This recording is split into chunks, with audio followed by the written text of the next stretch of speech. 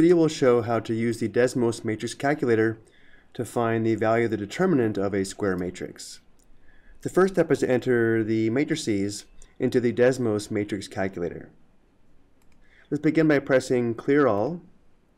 Click New Matrix for matrix A, which by default is a 2 by 2 matrix, and now we enter the elements. 4, right arrow, 3, right arrow, 2, right arrow, negative 5, enter. And now we enter matrix B. If we click new matrix, by default the new matrix is matrix B, since B comes after A. Matrix B is a 3 by 3 matrix. We change the dimensions below.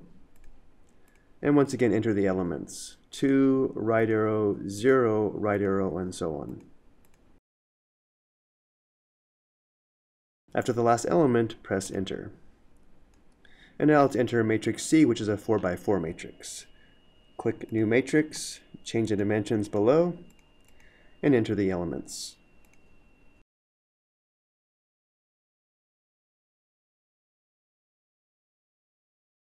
And it's worth double checking all of the entries. Press enter.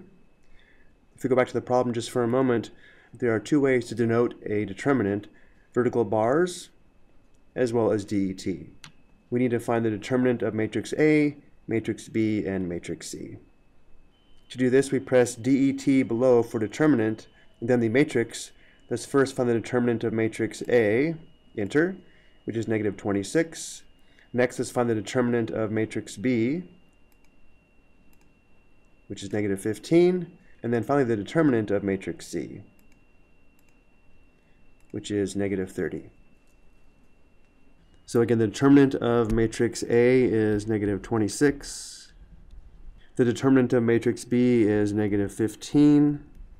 And the determinant of matrix C is negative 30. I hope you found this helpful.